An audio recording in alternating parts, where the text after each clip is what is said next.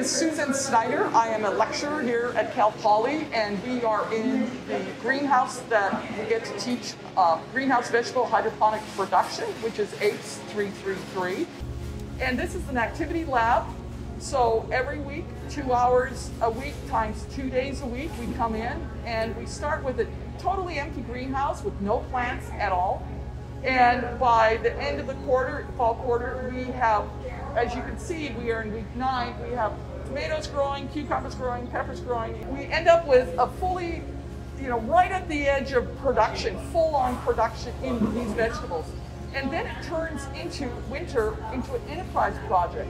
So then I get a small group of students who are interested in continuing on, will be in charge of the entire maintenance of the plants and sales of the plants. And at the this will go through winter and spring.